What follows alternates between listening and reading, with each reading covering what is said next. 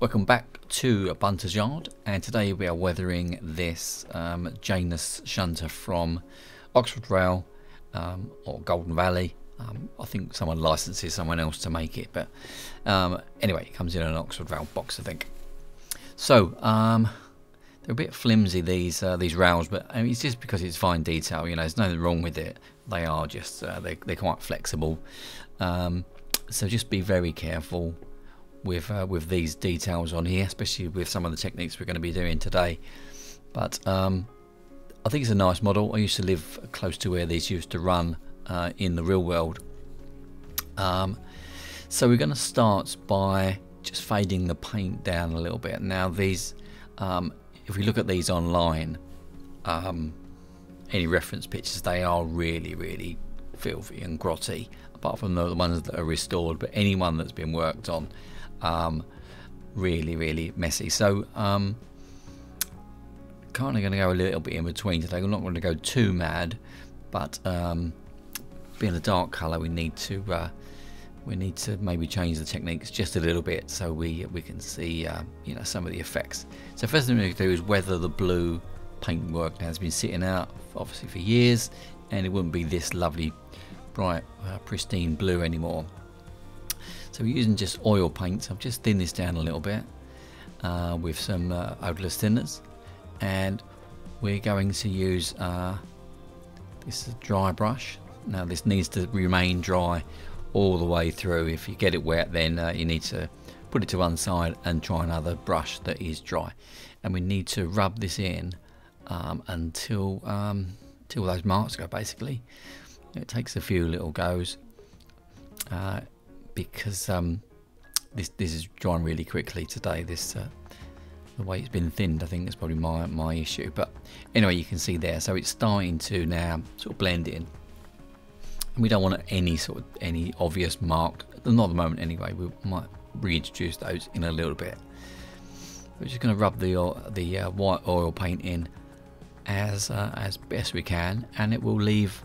You can see this sort of faded um, sun bleached, sort of dusty appearance. I've done this before on others on the um, on class 20 when we we did the reverse and we added um, black oils and we made the paintwork go darker um, because we want to change the colour very slightly. But this is the opposite of that. So we're using this is white, but you can use um, you know a light sort of beigey colour, magnolia or whatever the oil would be called. Um, but yeah, white works well for this one. So you can see it's um, given that sun faded effect.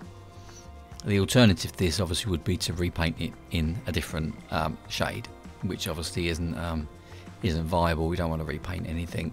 It's just a nightmare. So we can do this quite easily with a brush. So I need to dab on just a tiny amount. Put an extra on the top just to lighten it up just a little bit more.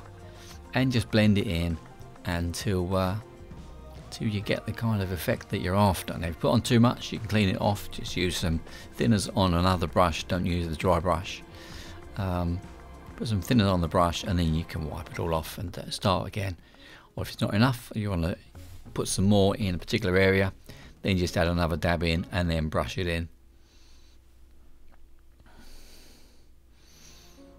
And then any sort of marks like this they're not going to come off we can use a dampened uh, a brush with just just with a bit of thinners.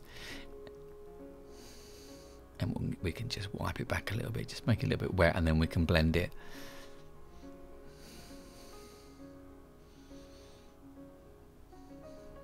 The good thing is with the um, this sort of um, fading of paintwork it's not going to be uniform. So if you've got patches it really doesn't um, really doesn't matter. It all adds to the effect. If we look at paintwork that's uh, that's faded on um, you know, not just trains but on cars especially. You'll see that the patches have gone um, sort of um, it, it's not uniform.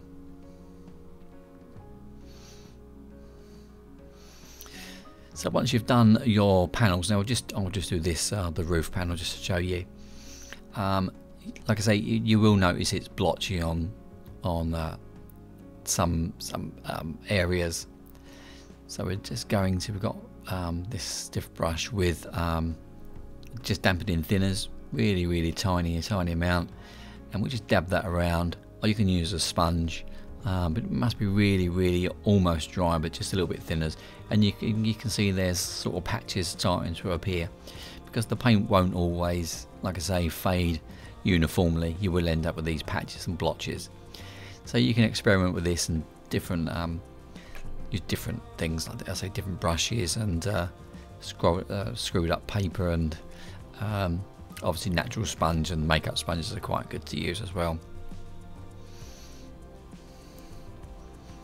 So we need to continue with this. Now there's quite a process, but it's quite um, it's quite nice and therapeutic. Um, you can just sit there in front of the TV with this on your lap, to be honest, and uh, and uh, go all around it if that's what the uh, the family would allow you to do. Probably wouldn't condone that to be honest with you. Just lock yourself in your in your man cave, and uh, and just get your head down really.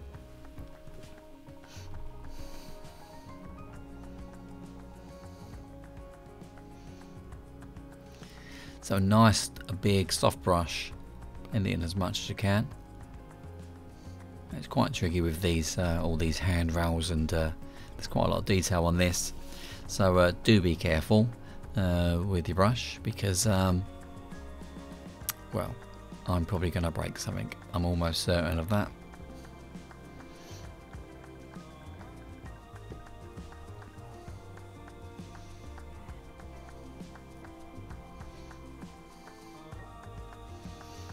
I'm not going to show you all of this. We'll do a little bit more um, but then you can uh, you can sort of work the rest out yourself. Um, this will just be the same for every panel. You can do as much as you like. You don't need to go all the way down to the bottom. We're going to add some different effects and different colours a bit later on anyway. So um, so especially at the bottom, it's going to be a bit darker and uh, greasy and grimy. So um, probably uh, I'm not going to worry about going all the way down to the bottom. And those uh, little uh, sort of bonnet things on the top. I'm not going to do all of those as well. We're going to leave a little bit of that, a patch of that in the middle as a slightly different colour. And you don't need to do all the panels. You know, if the uh, if the shunt shunter's had a replacement door or something, then you may just want to leave that um, in whatever colour it's is in.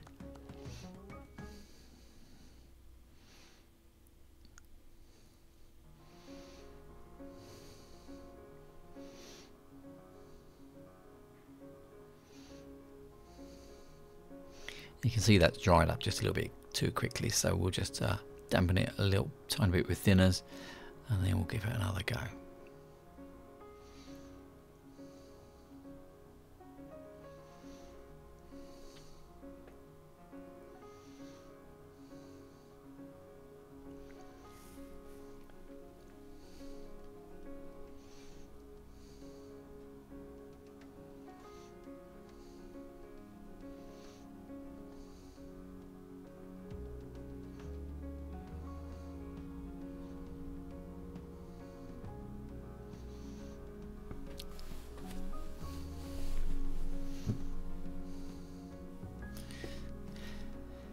So once you've done the, whole thing, um, you can see the difference between one side and the other. So I think it's quite a nice effect. Um, we can add more sort of blotches and, and runs. So I think we'll do uh, some little runs on this uh, on this side panel. So just a little bit of thinners, just to start it going, and then we'll get a brush and we'll uh, we'll we'll drag downwards. Um, just try and keep all the all the runs, you know, from top to bottom, the way that they would naturally run in real life with the rain and so on.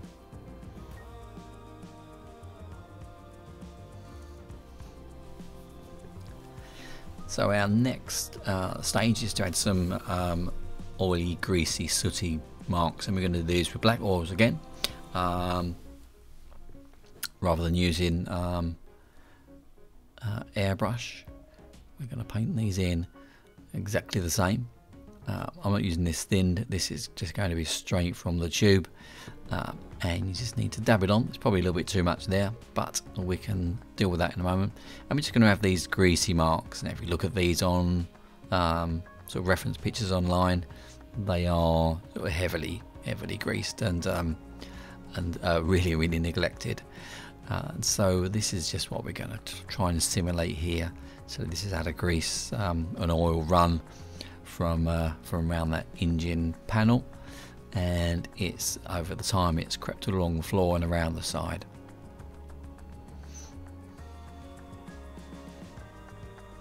I don't forget oils don't um, don't dry that quickly so we can manipulate this um, for uh, you know for, quite some time it probably won't be set for a or, dried for another day. So uh, lots and lots of time. So take your time no rush.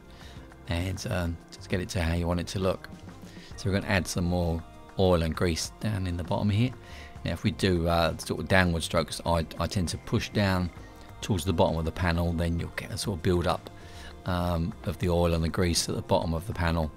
So it looks like it's just naturally run down and that's where it's settled along the bottom there I'm just going to add a bit in just to make sure that that's the effect that we're going to get. That's what I like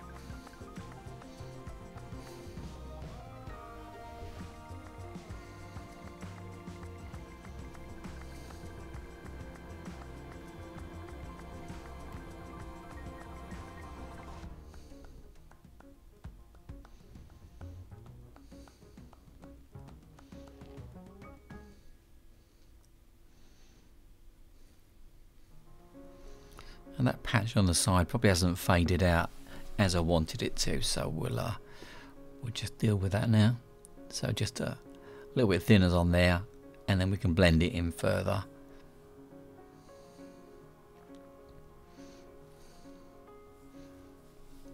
And it still needs to be quite dark you know along that edge so we're just going to add a little bit more in there again. It gives us a bit more of a fade once the oil dries that will look a little bit differently.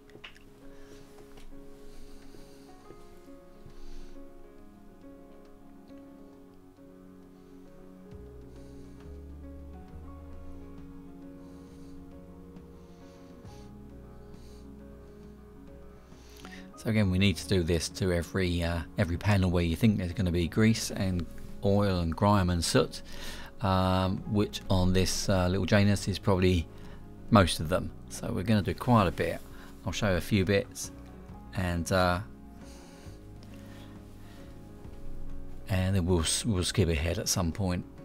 So along these inspection panels there's going to be um, grease and oil and uh, and soot which is uh, sort of spilled out it's not going to be cleaned off and then down there by these um, they look like filler caps. I don't know if they're used for oil or fuel, I'm not sure. I'm assuming they're kind of for fuel. So we'll uh, we'll add some down there as well by those things and we'll uh, we'll do some extras to that in a little bit. And all the yellow is going to be um, almost gone really, so we're, we're going to make it quite dark. But it's obviously, uh, you will be able to see the wasp stripes on there still.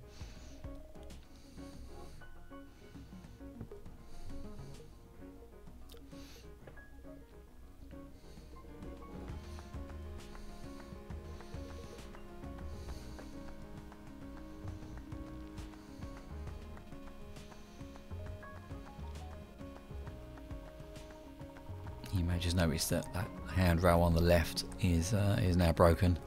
Um, so we have to glue that back in place a bit later on, but uh, they are quite delicate.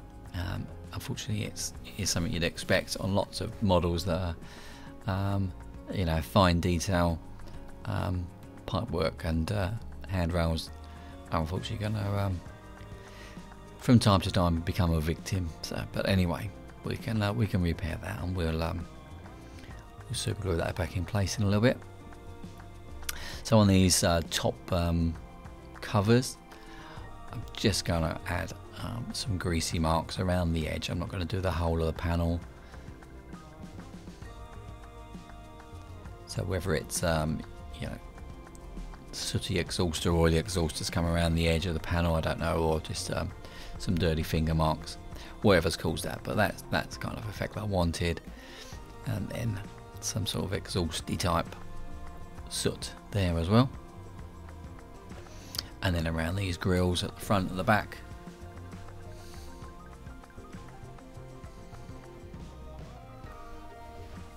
This just gives us a start. This just gives a nice sort of uh, soft um, blend and a gradient. Sometimes even with airbrushes you can get like, um, you know, a line um, where it's just not gone on, you know, gradually enough. So this is quite nice, and then we can beef it up with the airbrush a little bit later on and make it look a bit um, sort of add the darker parts in, so the the soot on the on the vents and so on.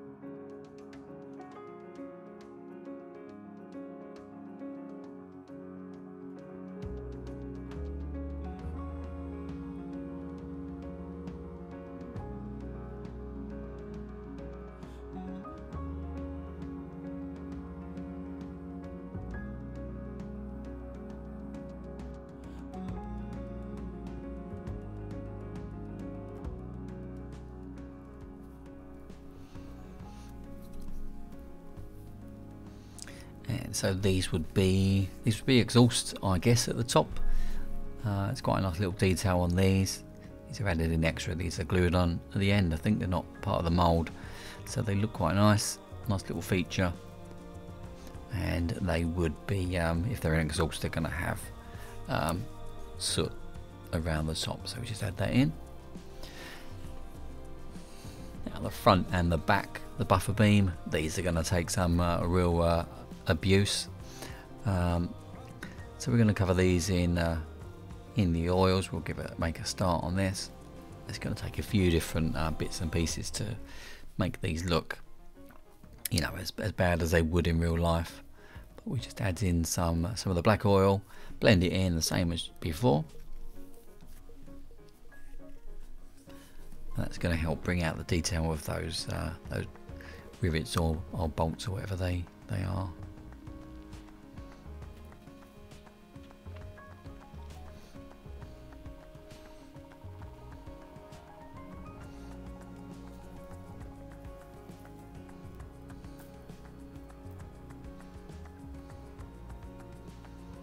A bit of a funny angle for me to um, to do this. I'm I'm off to the left, so I've twisted my body and uh, my hands and everything just so I can get a, a decent uh, camera angle.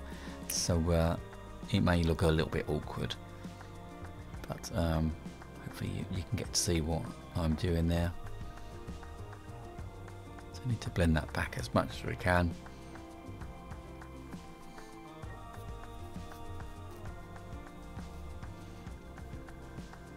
And again if we just use the dampened brush with some oils we can add in some streaks. So we use a, a, the stiffer brush and we can just brush down and that'll add in some uh, some some streaky marks for us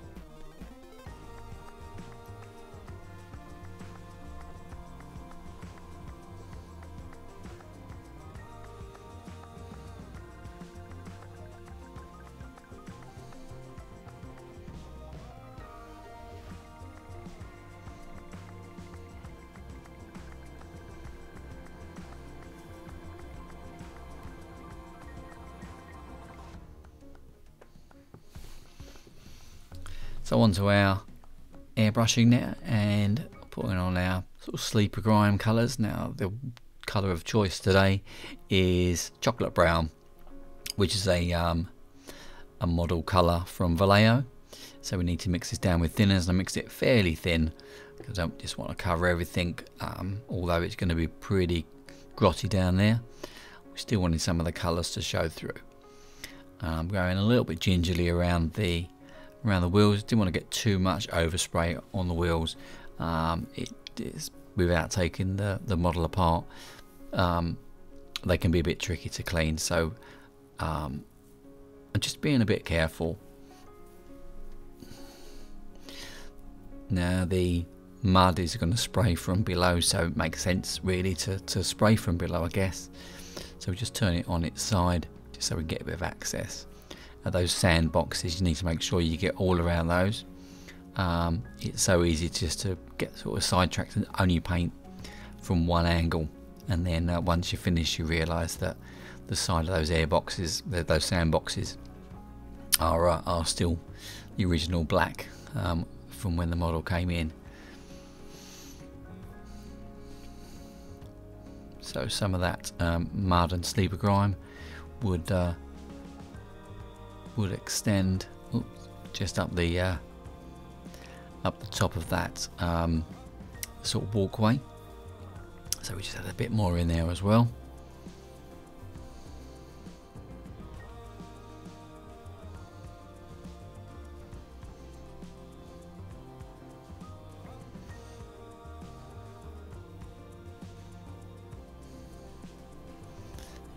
Tiny touch to the uh, to the top areas.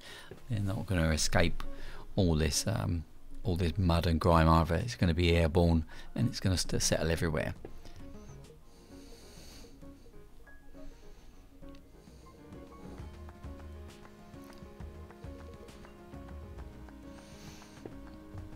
And we've got our pressure fairly low on the airbrush, so we can get these. Um, so we can control some of these these lines and streaks so on the front, so just going to cover the, the grill, make sure everything gets on the front. We, will do something with the vent, with the grills in a moment, we'll, we'll add a different colour on there. And then down the bottom now, the, the absolute sort of bottom line of this is going to get the, the you know the brunt of the mud. There's going to be lots and lots down the bottom, so uh, we can we can go as as thick as we like along the bottom there.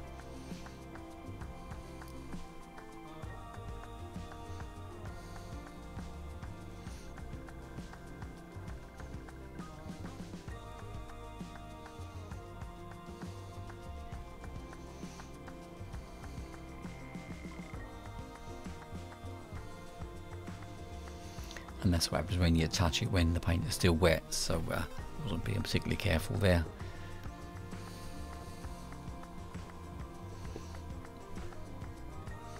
tricky finding a way to, to hold these. Um, that's not going to leave a leave a mark. So uh, yeah, I, I, normally use the um, the couplings if I can. So we've changed our brush now and we've added in a Model Air Black, and I'm just going to paint in the um, the grills on the front. The only problem is that we've got that um, is the handrail in the way. So we need to kind of paint through that without leaving a, a silhouette of that um, on the on the grill. Um, so you need to attack that from a, a couple of different angles. I'm going to add just a little bit of soot into these um, these vents here just to sort of highlight those. We've got the sooty runs from the oil washes earlier on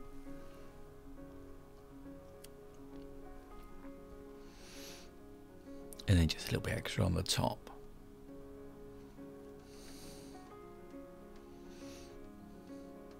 And I just like to uh, to add on um, on the leading edge of the roof. Uh, I do this with most wagons as well. Just just run along with the dark colour, whatever it is. So you're using, using a soot or a smoke or a um, dark grey, whatever colour you're choosing, just to add that on because the, the leading edge is going to get uh, a build up of, of um, soot and grime. So just try to add that in, but just really, really lightly, not too thick. And again, this grill, it's going to be uh, to build up, um, but just needs to make sure we get through that handrail on the front there.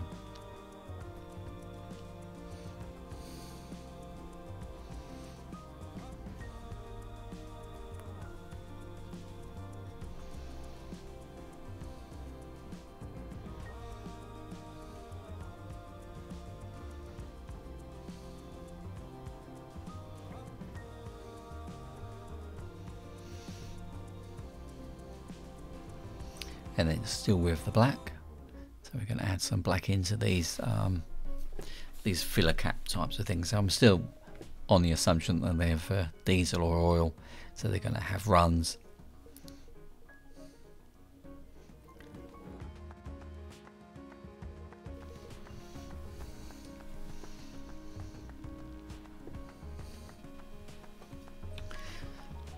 So just a little bit of weathering powder, not um, too much on this one. Um, I'm just using this uh, rust from the from MIG and Humbrol Dark Earth and you can see lots of different shades in there and that's because I just normally uh, would just leave it in there once I've finished and then um, the, the, the colours become more subtle, I've got more choice of colours. So I'm using a smaller brush than normal here and I'm being really really careful. Um, just don't want to get too much rust on this. Although um, you know they're they're they're pretty pretty grotty. Um, yeah, just didn't want just didn't want too much rust on this. I think more more grease and grime rather than rust on this one. But there'll be a couple of little runs, a couple of areas where there will be rust. Some of these uh, leading edges along the chassis and so on, there's going to be a little bit of rust there. And then perhaps where the uh, the rails um, join, that's going to be a weak point. It's going to get water in there and they're going to rust. So that's my theory on this. And then if we use uh, the weathering powders, so on the wheels,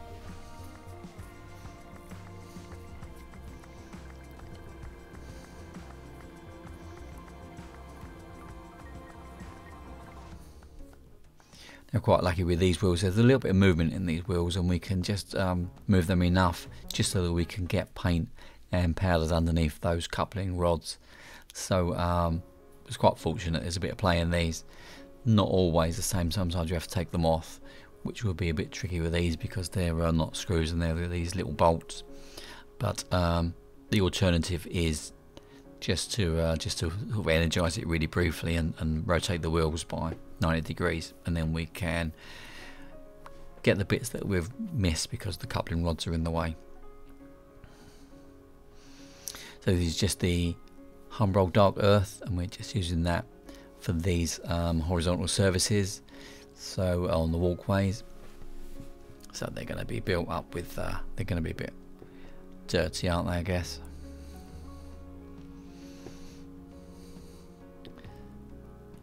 you can see once you get a bit on the it's on the roof in the wrong place didn't really want it there.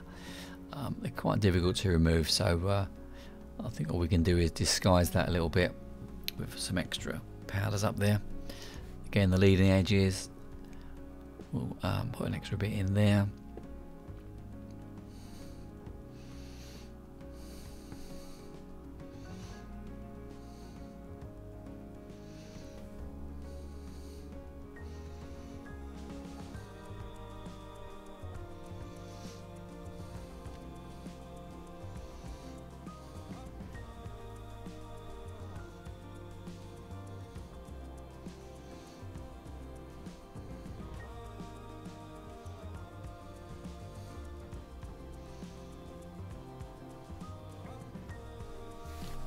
working on the on the bottom of these buffer beams. Um, are they still good buffer beams when they're on a on a big shunter like this? I guess they still are but um, they seem to have a different sort of purpose on these because they seem to protect it but anyway um, I'm sure someone knows what they're called. Uh, so coat of uh, polyurethane varnish. Uh, this is again the Vallejo one. As you know that's what we always use um, trying to stay away from the wheels too much. They still need protection, but I don't want to put too much on there because it just means more to clean off. But um, we need some on there, so uh, we'll be careful as we can.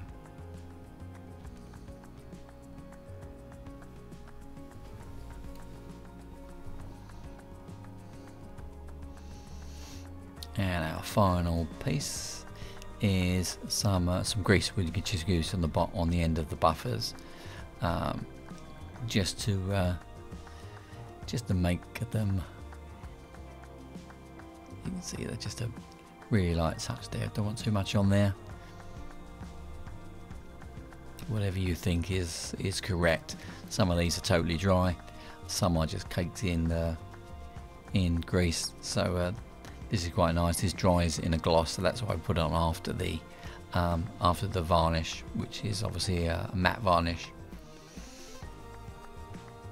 And then again going back to these filler caps which I seem to be obsessed with um, just a touch of the grease there. We're just going to dot it in. We'll let it run naturally and spread out as grease would normally be. And pretty much that's done.